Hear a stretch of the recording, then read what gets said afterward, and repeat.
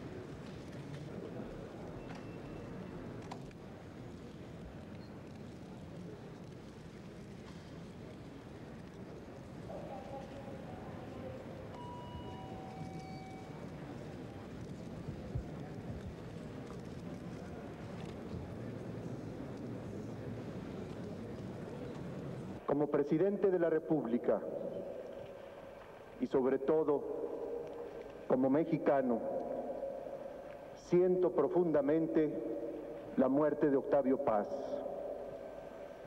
Al conocer anoche la noticia de su fallecimiento, sentí, como todos los hombres y todas las mujeres del país, que hemos perdido algo muy íntimo, algo muy propio.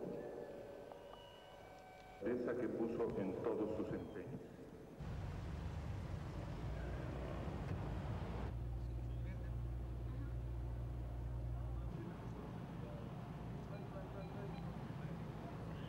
Dale,